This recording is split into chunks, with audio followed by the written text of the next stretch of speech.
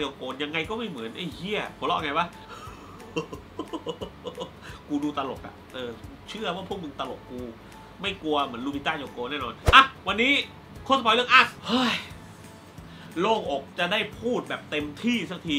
สำหรับผมพูดชองก่อนเลย ภายนอกทั้งหมดโดยรวมมองโดยรวมมันคือ thriller แต่จริงๆแล้วมันเป็นหนัง thriller ที่มีหนัง revenge ซ่อนอยู่ มันเป็นหนังล้างแค้นนะเว้ยอาร์ตอะมันเป็นรีเวนต์มันเป็นล้างแค้น แล้วในสไตล์ของหนัง revenge เนี่ย มันมีความเป็นหนังไซไฟซ่อนอยู่ ในอีกระดับหนึ่งอีก เพราะฉะนั้นถ้ามีคนถามคุณว่า ยังไม่ได้ดูเว้ยหนัง Us เนี่ยมันเป็นสไตล์อะไรวะ บอกเลย thriller ระทึกขวัญ ถ้ามึงจะ กวนตีนเพื่อนอะแต่อยากกวนตีนเพื่อนนะ เพื่อนอาจจะฆ่ามึงได้เพราะหนังเรื่อง Us นี่แม่งคือหนึ่งในสี่ของชีวิตหนึ่งถ้ามึงพลาดไป แต่ถ้าใครอยากจะกวนตีนเพื่อนก็บอกไปเลยอ๋อหนัง Us เหรอ มันคือหนังล้างแค้นและหนังไซไฟไงมึง ไม่เห็นเหมือนใน trailer เลยอะใน trailer มันไม่เห็นเป็น revenge เป็นไซไฟเลยอะมันก็จะเป็น feel นี้ไปเลยนึกภาพไหมครับ อะ เข้าเรื่อง หนังเริ่มต้นด้วยฉากตอนเด็กของ ตัวลูปิต้ายองโก เราจะเห็นเลยฉากตอนเด็กบรรยากาศย้อนยุคนะ โอ้โห สวยงาม แล้วถ่าย scene ไหนสวย เราจะเห็นแล้วว่าตัวลูปิต้ายองโกเนี่ยโตมาในครอบครัวของพ่อแม่อ่าพ่อแม่วัยรุ่นก็ปกติมาเที่ยวเหมือนงานวัดอะโอ้ยสามี enjoy มากกับงานวัดไอ้เหี้ยคุยกับเมียตลอดเลยว่าเฮ้ยดูลูกหน่อยดูนั่นนี่ มันจนเจ้ากรรมเอ้ยมันมีเหตุการณ์หนึ่งที่เมียแม่ปวดเยี่ยว แม่งต้องไปเยี่ยวตอนเนี้ย มึงดูลูกหน่อย สามีแม่งทุบตู้ตัวตุนอยู่ ก็บอกกูก็กูดูอยู่เนี่ย กูก็เล่นตู้ตัวตุน แล้วกูก็ดูลูกอยู่ ก็สุดท้ายก็ตัวลูบิต้าโยโกตอนเด็กก็ หลุดออกมาหลุดจากสายตาพ่อแม่นึกออกไหมครับ ก็เนี่ยจุดเริ่มต้นของความวินาศสันตะโรไอ้ลูปิต้ายองโกตอนเด็กนี่แม่งก็เดินเดินเดินเดินเดินเดินจนเข้าไปในมันเป็นเหมือน ถ้าเป็นบ้านเราก็ซุ้มบ้านผีสิงเนี่ย ประมาณนั้นแหละแม่งก็เข้าไปในซุ้มบ้านผีสิงไอ้เหี้ยแม่งเข้าไปเดิน เหมือนบ้านเราอะเข้าไปเดินที่มืดๆจ้าก็โดน jump scare jump scare อะไรเงี้ย จนไปเจอห้องกระจก พอเข้าไปถึงห้องกระจกปั๊บแม่งก็น่ะตามสไตล์ห้องกระจกเล่นได้หลอนโอยหลอนมากตอนห้องกระจกเนี่ย ส่วนตัวผมโคตรผวา แล้วมันมีจังหวะหนึ่งกูโคตรสะดุ้ง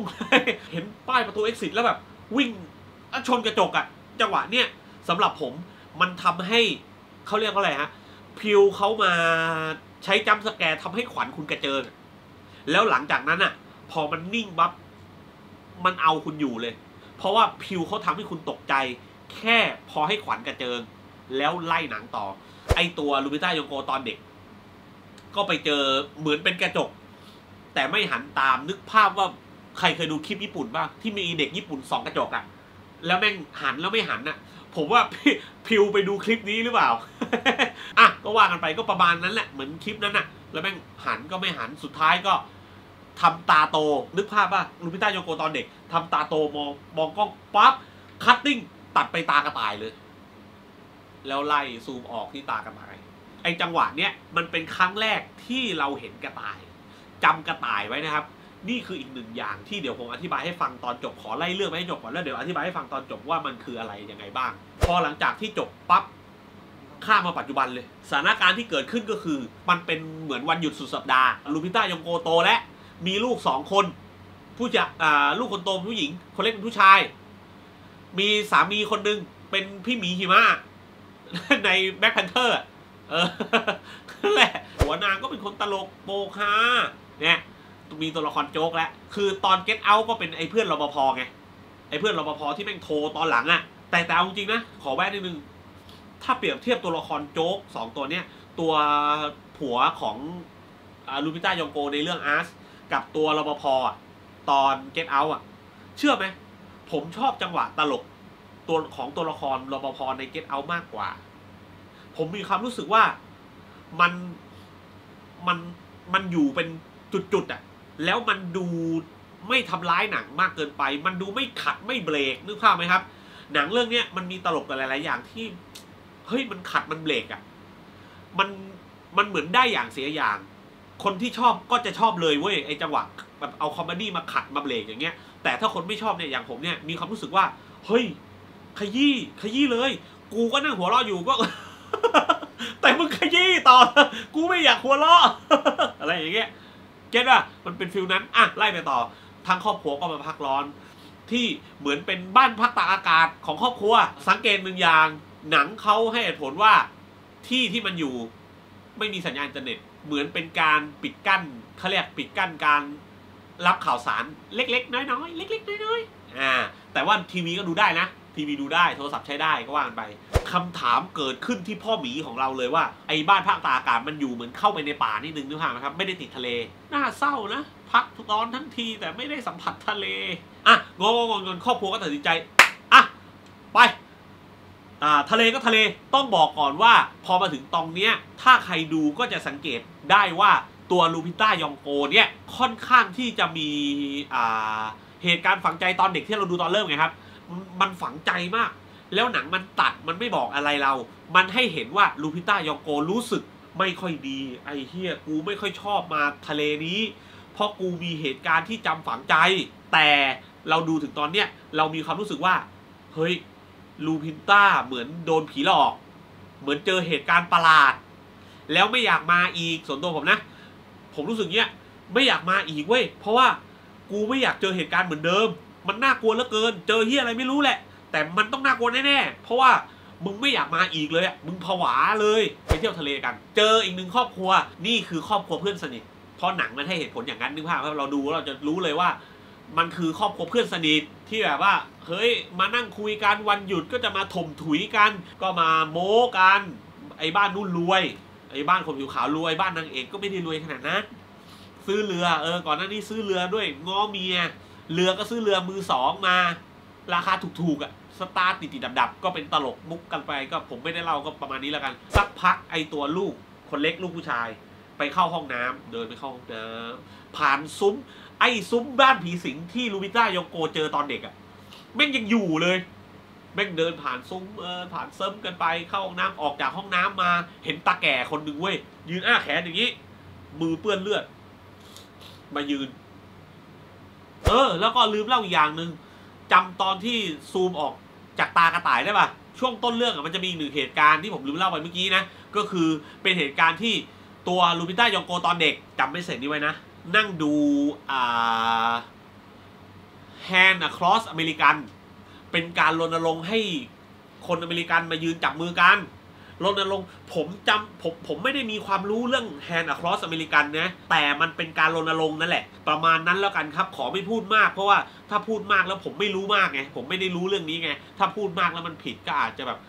ดูไม่ดีใช่ไหมครับลูพินต้ายองโกตอนเด็ก ก่อนที่จะเจอเหตุการณ์ประหลาด การดูทีวีครั้งเนี้ยคือเป็นการดูทีวีครั้งสุดท้าย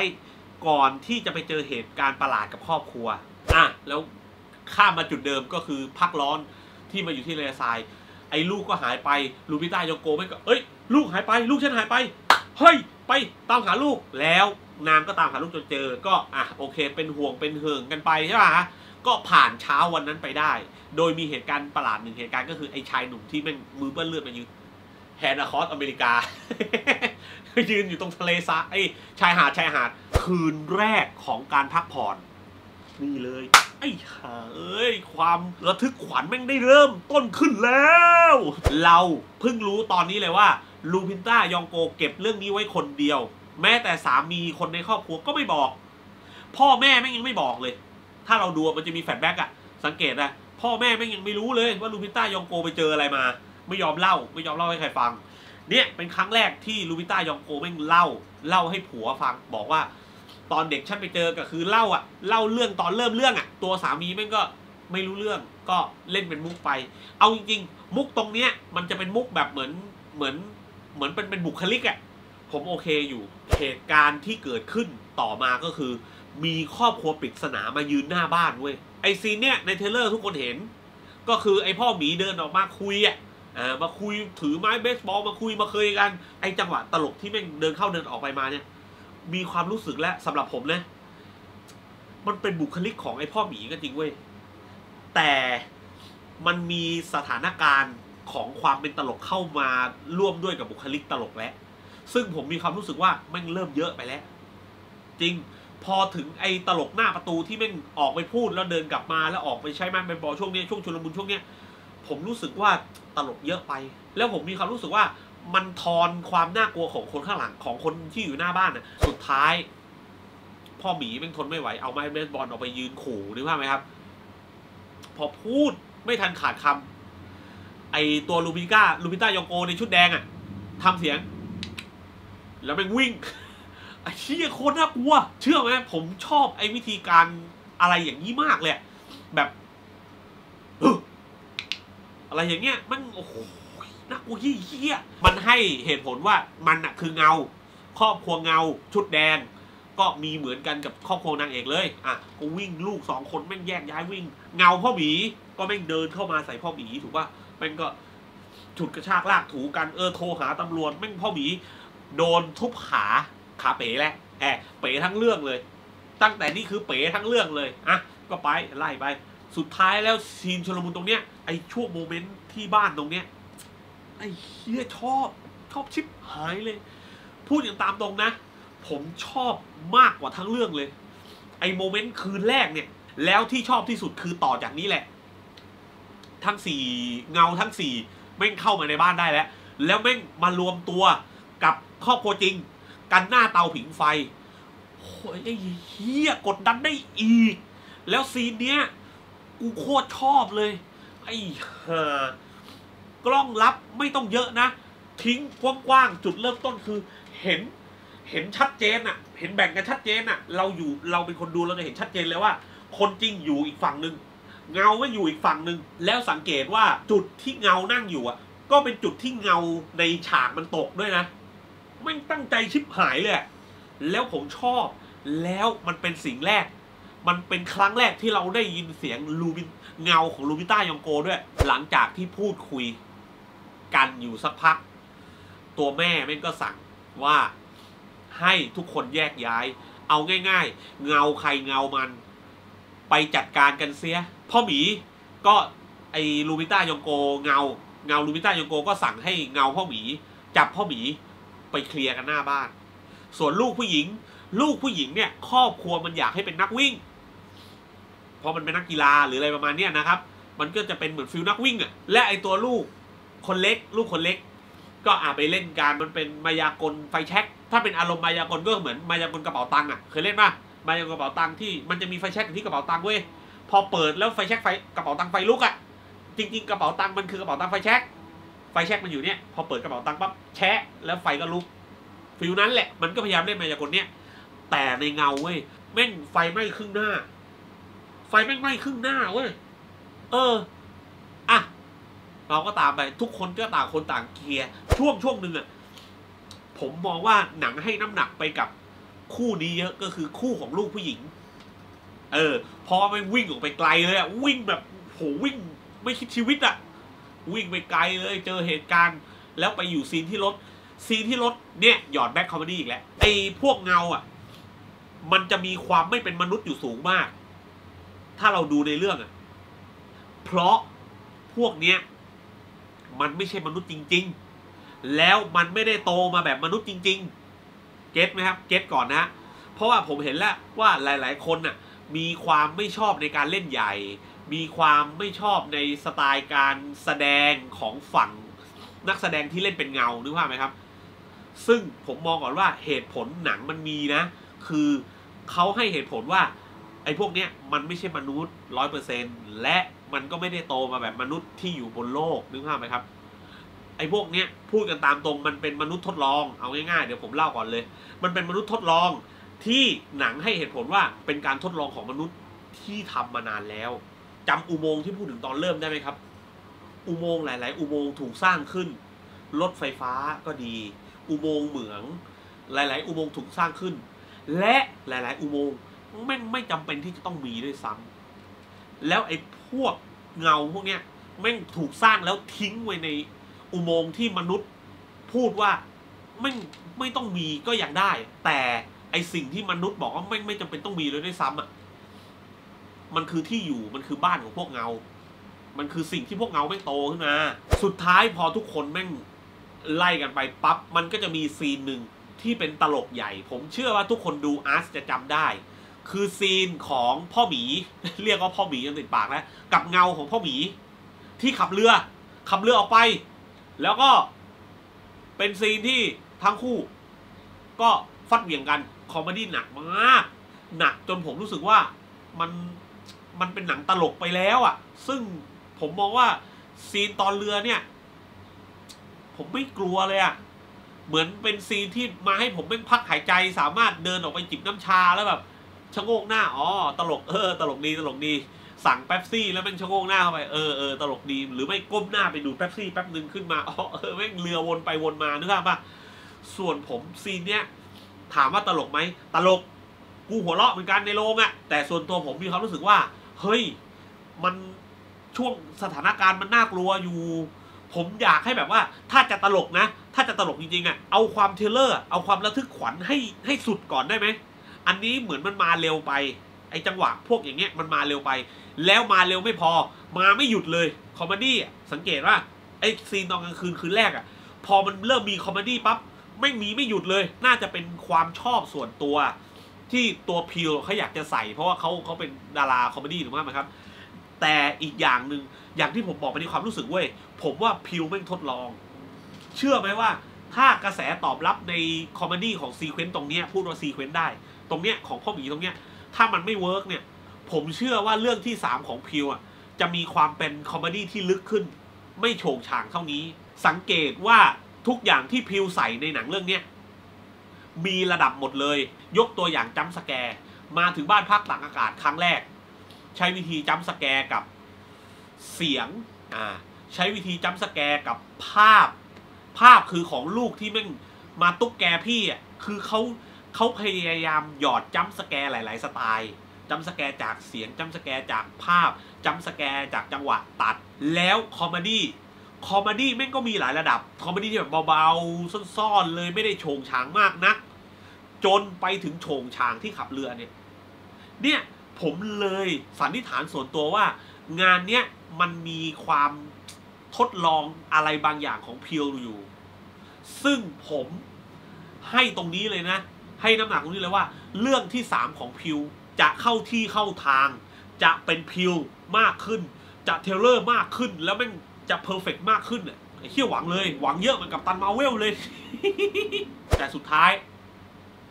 พ่อพ่อหมีแม่งก็วนมารัก คนในครอบครัว ขับเรือออกจากบ้านไปได้หนีออกจากบ้าน พักตาอากาศตัวเองได้ เออ อีกอย่างหนึ่งก่อนที่จะไปฉากต่อไป เฮ้ย พิวเป็นผู้กำกับที่เลือกใช้สกอร์ของหนัง ได้โคตรกลมกล่อมเลย ผมชอบสไตล์สกอร์ที่เขาเลือกมาใช้ในหนังของเขามากอะ่ะ มันมีเสียงที่แบบเสียงจากความเป็นจริงที่เอามาแอดปใช้อะ เสียงกลองตึงตึงตึงตึงตึงเสียงขวนแล้วโคตรชอบเลย เสียงเขาแล้วมันจะมีเพลงเพลงหนึ่งที่เหมือนเป็นเสียงเด็กแล้วประสานเสียงกันอะ ที่แบบ ฮึฮีฮ่าฮึฮึฮีฮ่าเฮียอะไรอย่างอะ เออ ชอบไปเฮียหลอนชิบหายเลย ต่อจากที่ทั้งครอบครัวของลูวิต้าโยโกออกจากบ้านพักอากาศตัวเองได้แล้วปั๊บหนังตัดเลยครับ ตัดไปที่ครอบครัวจำได้ป่ะมันมีเพื่อน ชาวอเมริกันที่บอกบ้านรวย คราวนี้แหละ เปิดบ้านไอ้เฮียรวยจริงไอ้ครอบครัวเนี้ยพิวไม่ได้ให้น้ำหนักมากนัก ตัวหนังไม่ได้ให้น้ำหนักมากนะครับ ตัวหนังเขาไปไวเลย เห็นครอบครัวนี้เห็นนู่นนี่ เอ้ยใครมานอกบ้านปั๊บโดนฆ่าเลยทั้งครอบครัวโดนฆ่าเลย แล้วสวมรอยเป็นเจ้าของบ้าน ไม่นานไอ้ครอบครัวนู้น Lupita Nyong'o ครอบครัวพ่อหมีหนีมาแล้วนี่ ก็มาหาเพื่อนนี่ไงจะเข้าบ้านเพื่อนมาเคาะประตู อะ สุดท้ายก็เกิดการชลมุนต่อสู้กัน เชื่อไหม พอมาถึงซีน ผมขอใช้คำว่าซีนแอคชั่นแล้วกัน ซีนแอคชั่นตรงเนี้ยที่สู้กันที่บ้านเพื่อนเนี่ย ผมรู้สึกมันเริ่มมีความ fail ในอารมณ์ผมเกิดขึ้นอะเฮ้ย ไหนความระทึกขวัญน่ะ ถามว่า enjoy ไหม enjoy บอกก่อนว่า มัน enjoy ได้เลยเว้ย มัน enjoy ได้ไม่ได้น่าเกลียด แต่ผมมีความรู้สึกว่าไหนความหลอนน่ะ ความหลอนอยู่ไหนอะ มันสนุกแหละ มันสนุกตรงเนี้ยมันสนุก แต่มันไม่หลอนเลยอะ มันมีมุกตลกด้วย ไม่หลอนแล้ว มุกตลกอีกนึกภาพไหมครับ ซึ่งเนี่ย เราไล่มาถึงตรงเนี้ย ตั้งแต่เริ่มต้นคืนน่ะ จนมาถึงตรงเนี้ยตลกยังไม่หยุดเลยนะ ยังไม่หยุดตลกเลยนะ ซึ่งผมมองว่าเยอะไปอะสุดท้ายแล้วก็เงาของบ้านบ้านเพื่อนแหละตายหาหมดแล้วก็เปิดดูข่าว ทั้งครอบครัวเลิกเปิดดูข่าวจากสิ่งสิ่งหนึ่งเว้ยลูกมันนั่ง ลูกคนเล็กผู้ชายถามว่า แล้วถ้าเป็นอย่างเงี้ย มันจะมีเงาอีกสักกี่คนทำท่า สรุปรวมๆคือในทีวีบอกว่า สถานการณ์ณปัจจุบันเนี่ย เอาเฉพาะอเมริกานะ เกิดเหตุการณ์ความวุ่นวายใหญ่ คือมีคนชุดแดง ออกมาจากท่อระบายน้ำถือกันไกลสีทอง ใส่ชุดแดงเหมือนกันหมดทุกคนเลย ออกอารวาสไล่ฆ่าคนไล่แทง พอแทงเสร็จปั๊บสิ่งที่พวกชุดแดงทำคือ ไปยืนจับมือกัน ต่อแถวยืนจับมือกัน อ่า ทิ้งไว้แค่นี้ก่อนนะ แล้วแม่มันก็บอกเลยว่า ร้อนรนเลยคราวนี้แม่งเห็นข่าวปั๊บไอ้เฮียแม่งไม่ได้แล้ว นี่อเมริกาที่ข่าวนี้ที่ข่าวข่าวที่เห็นอยู่นี่คืออเมริกานะแม่มันก็บอกว่าไม่ได้แล้วต้องเอารถ เอารถของบ้านนี่แหละ แล้วขับออกไป พ่อหมีก็บอกจะออกไปทำไมบ้านในเฮียเนี่ยรวยมีของกินเยอะแยะ แม่หมีมันก็ให้เหตุผลว่า มึงไม่มีสิทธิ์สั่งอะไรแล้ว มึงต้องทำตามกูเท่านั้น เพราะว่าเมื่อคืนอะ ที่เล่าให้ฟังอะไอ้คืนแรกอะที่บ้านอะคือมึงไม่เชื่อไงมึงตลกใส่กูไงคืนนั้นอะที่กูเล่าให้ฟังอะ เป็นไงล่ะไอ้เฮียตายกันหมดแล้วเนี่ย ก็ทั้งครอบครัวตัดสินใจใช้รถของที่บ้าน ไปตัวลูพิต้าโยโกบอกว่าขับไปไหนก็ได้อะออกจากอเมริกา ออกไปก่อนเนี่ยตัวลูพิต้าโยโกอะคงเข้าใจ ผมเข้าใจว่าอย่างนี้นะหนังไม่ให้เหตุผลว่าตัว Lupita Nyong'o เข้าใจว่าสถานการณ์ทั้งหมดเนี่ยเกิดขึ้นในอเมริกาซีนแอคชั่นต่อมาก็เริ่มขึ้น อย่าลืมว่ายังเหลืออีกสองคนสามคนคือตัว Lupita Nyong'o เงา แล้วเงาของลูกทั้งสอง เพราะฉะนั้นเนี่ยครั้งเนี้ยลูกผู้หญิงที่เป็นนักวิ่งเนี่ยก็มายืน ก็เป็นหนัง thriller ที่มีฉากแอคชั่นบนรถด้วยเหี้ยเนี่ยผมถึงบอกว่า Jordan Peele อะแม่งกำลังทดลองอะไรบางอย่างเว้ยนึกภาพ ไอ้ตลกก็มีหลายระดับ jump scare ก็มีหลายระดับ สังเกตนะแอคชั่นก็มีหลายระดับแอคชั่นมีหลายระดับยังไง มีตั้งแต่ ยังไม่ได้เรียกว่าแอคชั่นมาก เรียกว่ากอดรัดฟัดเหวี่ยง ตอนเริ่มที่เข้ามาในบ้านคืนแรก ในสไตล์ของหนัง thriller ไม่ได้แอคชั่นแบบโต้ตอบกันมากนัก ไม่ได้มีการโต้ตอบกันมากนักนึกภาพไหมครับ สังเกตว่าตอนในบ้านครั้งแรกอะ่ะครอบครัวจริงอะ่ะ ทำอะไรร่างเงาไม่ได้เลยนะ ได้แต่วิ่งหนีเลยนะ ซึ่งมันเป็นน้ำหนักถ้าพูดเป็นซีนแอคชั่นอะมันเป็นซีนแอคชั่นที่มีการต่อโต้ที่น้อยมาก พอไล่มาเรื่อยๆ มีการต่อยกันสู้กัน แล้วคราวเนี้ยมันมีถึงขั้นที่ว่า เนี่ยไอ้เหี้ยตัวเงาอะเกาะรถ แล้วแม่งขับรถสู้กับเงาอะ มันไล่ระดับเห็นปะทุกอย่างที่จอแดนพิวใส่ในเรื่องเนี้ยมีเป็นระดับมีทั้งหนัก กลางเบาไล่ทุกอันที่ใส่เข้าไปเลย ผมเลยบอกว่าจอร์แดนพิวพยายามทดลองเว้ยคนเล่าเรื่องมันจะมีความอย่างหนึ่งเดี๋ยวก่อนจะไล่ต่อนะ คนเล่าเรื่องเขาจะมีความอย่างหนึ่งคือ ต่อให้เขาทำหนังดีขนาดไหนหรืออะไรขนาดไหนเนี่ยเขาก็ต้องการที่จะรีเช็คเหมือนกันว่าเฮ้ยตัวเขาอะสามารถเล่าอะไรได้บ้าง เข้าใจไหมครับคำว่าเล่าอะไรได้บ้าง ถ้ามีใครถามพี่แล้วใครเป็นตัวกำหนดล่ะ ก็หนึ่งวิธีที่ พิวใช้แล้วผมมองว่าเป็นเรื่องดีก็คือ ทดลองเลย เนี่ยใส่เข้ามา มันก็เลยมีความรู้สึกว่าเรื่องเนี้ยพิวเขาก็มีความพยายามลองอะไรใหม่ ๆ เพื่อที่จะปรับให้หนังมันเป็นเขาตัวเขามากขึ้นนึกภาพไหมครับ มีความตลกมีความแอคชั่นมีความตามสไตล์ที่เขาชอบแหละ หลังจากที่จบซีนนี้สิ่งแรกเว้ย สังเกตนะ ผมให้ message แรก ตัว Lupita Nyong'o ร่างจริงอะตอนเนี้ย ไอตัวลูกเงาอะเงาลูกผู้หญิงอะแขวนอยู่บนต้นไม้แล้วแม่งสภาพร่อแร่แล้วลูบินต้ายองโกถืออะไรลงมาด้วยในมือ ไอตัวไม้เขี่ยฟื้นอะ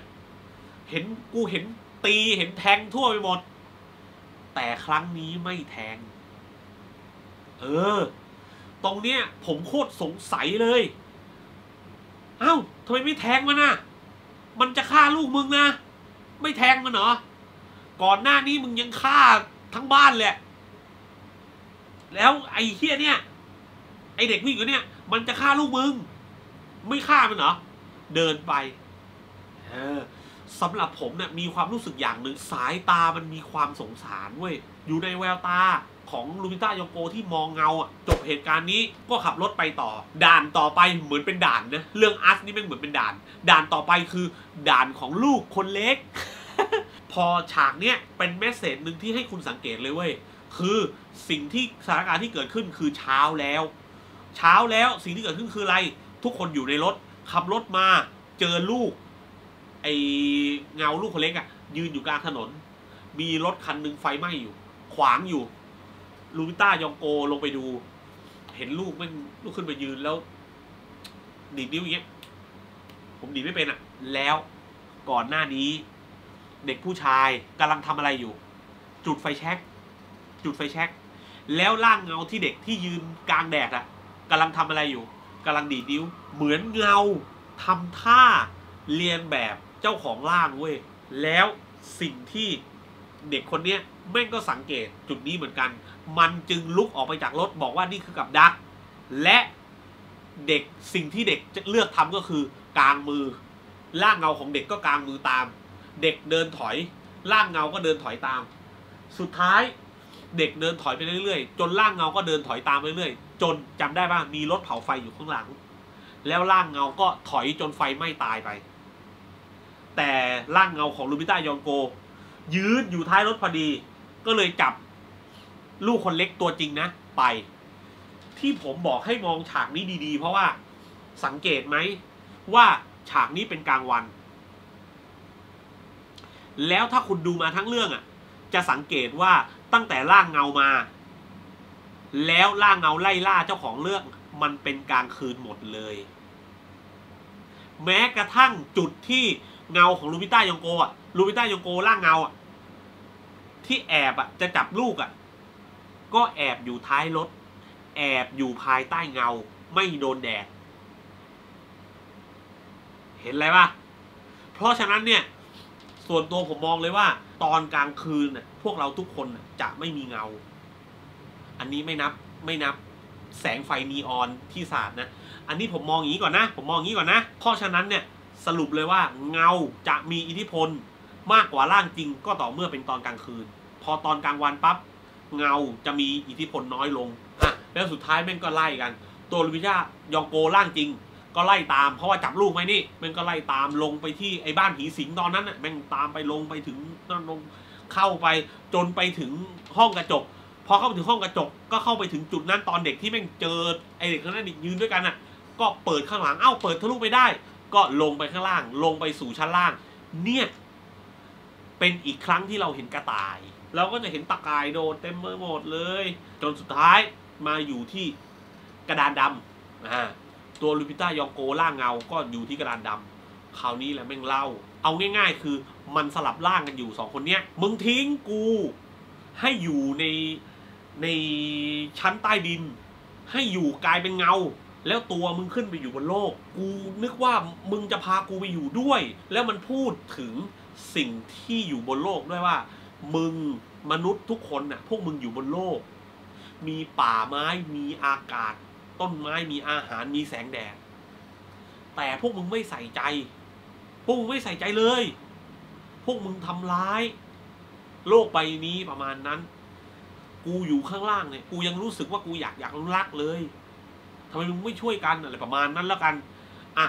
สุดท้ายก็มีซีนแอคชั่นอีกหนึ่งซีนเกิดขึ้นก็คือ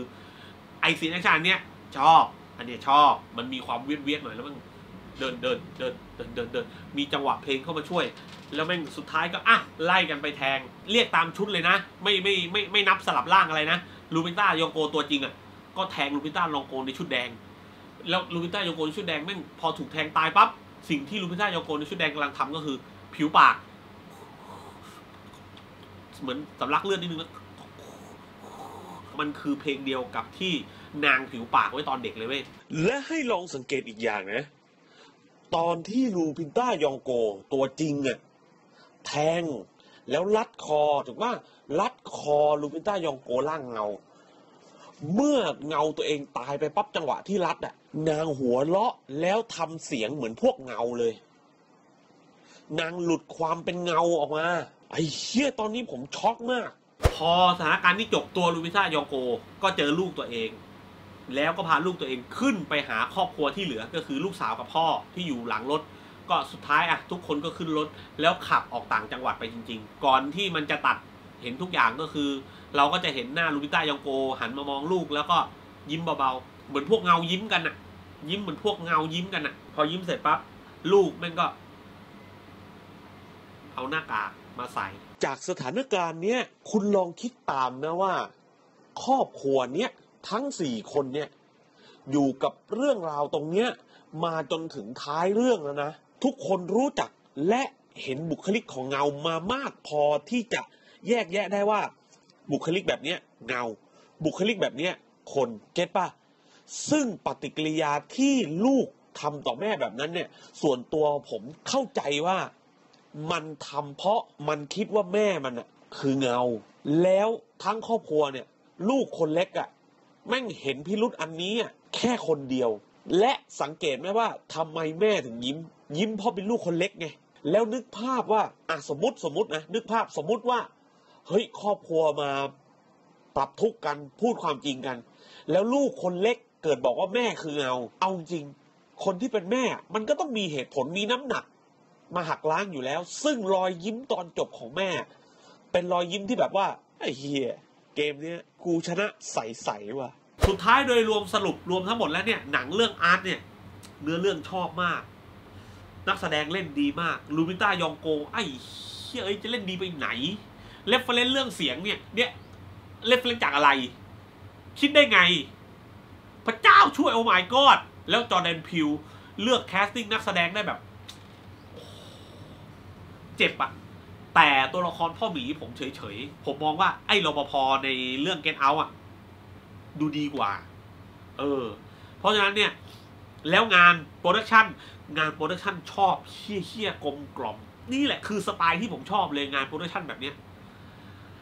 สุดท้ายแล้วหนังเรื่องนี้ผมขอให้ที่9คะแนนก็ประมาณนี้แล้วกันครับ เรื่อง Us เรื่อง Us มันใจจริงอยากให้สิบอะแต่ไม่มันไม่ถึง พูดกันตามตรงผมชอบ Get Out มากกว่า แล้วผมมีความรู้สึกว่า หนังเรื่อง Us อยากให้ขยี้ขยี้ไปเลย เพราะว่ามันมีความเป็น revenge มันมีความต้องการล้างแค้นกันอะไรกัน โอ้โห มันเยอะ ผมเลยมีความรู้สึกว่า เฮ้ย มันน่าจะขยี้พักให้น้อยกว่านี้หน่อยนึกภาพไหมครับ อะ ก็ก่อนจากกันไปก็ฝากด้วยครับ นี่เสื้อเพจเสื้อของผมชอบเองเป็นเพจเสื้อสเกนทู นี่คือรายที่หนึ่ง นี่คือรายที่สองใครชื่นชอบสินค้าลายไหนก็เข้าไปทักได้ครับที่เพจซิกแอนทูหรือทักตรงได้ที่เพจนอนหนักเพจ e x i v e Entertainment เลย และสิ่งที่คุณกำลังดูอยู่นี่คือ e x i v e Entertainment นอนหนังรีวิว ก็จะมีคลิปต่างๆ โคตรความรู้สึกหลังชมโคตรสปอยว่ากันไป เออ เดี๋ยวเทปถกประเด็น เดี๋ยวมันจะมีประเด็นที่คุณสงสัยต่างๆอะ่ะ ผมตัดสินใจแล้ว แยกดีกว่า แยกเป็นอีกคลิปหนึ่ง ปล่อยติดๆกันไปเลย เพราะว่าผมมีความรู้สึกว่าถ้ามันเป็นถกประเด็นอย่างเงี้ย แยกไปเลยน่าจะดีกว่า คุณจะได้แบบเฮ้ยดูโคตรสปอยล์เสร็จเออแล้วก็ดูอีกคลิปหนึ่งถกประเด็นว่ากันไป ถ้ามันรวมกันอยู่มันจะยาวเกินแล้วสุดท้ายแล้วเนี่ย บางทีอะคุณไปดูหนังมาหรือนึกออกไหมครับ ไปดูหนังมาปั๊บเฮ้ยกูดูโคตรสปอยล์ไปแล้ว แต่กูไปดูรอบสองอะกูไม่อยากดูโคตรสปอยล์ซ้ำอะแล้วถกประเด็นถ้ามันอยู่ท้ายโคตรสปอยล์อะคุณต้องมานั่งกรอนั่งอะไรอะแยกให้เลย สมมติไปดูรอบสองมาแล้ว แล้วเฮ้ยมันเป็นอย่างนั้นว่ะอ๋อมาดูแต่ถกประเด็นอะไรอย่างเงี้ยก็ได้ ก็ลองดูแล้วกันครับว่า ชอบไม่ชอบอย่างไร มีคำติชมอย่างไรก็เอาเข้ามาครับจะเป็นขอบพระคุณมากเพื่อในการเป็นพัฒนาคุณภาพของวิดีโอให้มันดีขึ้นดีขึ้นเรื่อยๆ ยังไงวันนี้ก็ลาไปก่อนนะครับ เรื่องหน้าจะเป็นเรื่องอะไร ก็เท่านี้แล้วกันสวัสดีครับ